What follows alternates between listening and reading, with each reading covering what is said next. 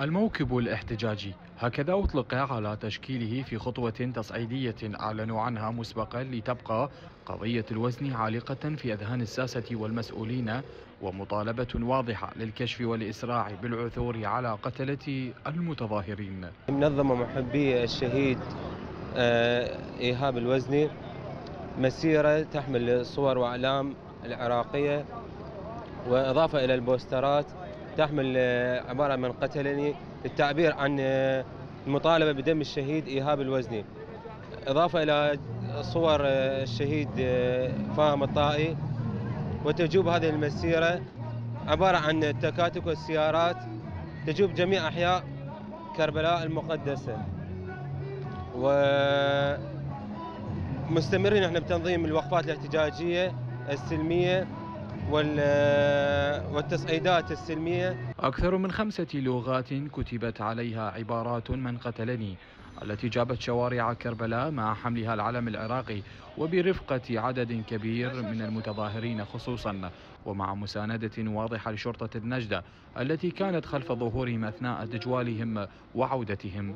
الهدف من هذه الحملة والمسيرة آه، هو إبقاء ذكرى الشهيد إيهاب الوزني موجودة ومتفاعلة ودمه لم يهدأ ولم يبرد لحد الآن في قلوب جميع أحبائي وأصدقائي وجمهور الكربلائي بصورة عامة.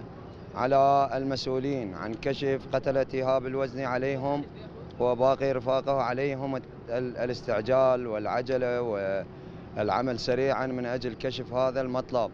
وإلا ستكون هنالك مواقيم ليس جيدة في محافظة كربلاء وباقي المحافظات المنتفضة و- وأن هذه الأمور التي تحدث حاليا كأحد الوسائل ال- الثقافية من أجل التعبير عن سخط أبناء محافظة كربلاء. في نفس الوقت رسالة بعدة لغات مثل ما قاعد يشوفون بلغات آه، أجنبية متعددة آه، نخاطبهم هؤلاء آه، سفارات الدول. وبقت من استشهد إيهاب الوزني أكثر من سفارة آه، عبرت عن استيائها وعن استنكارها وطالبت الحكومة العراقية بكشف القتلة وبنفس الوقت إحنا نوجه لهم هذا السؤال نقول لهم أنا عراقي من قتلني الشهيد الوزني لم يتزوج طيلة حياته فكانت له مسيرة أشبه بمسيرة الزفاف. ولكن للمطالبة بدمه. لقناة التغيير الفضائي جاسم الهميم. كربلاء.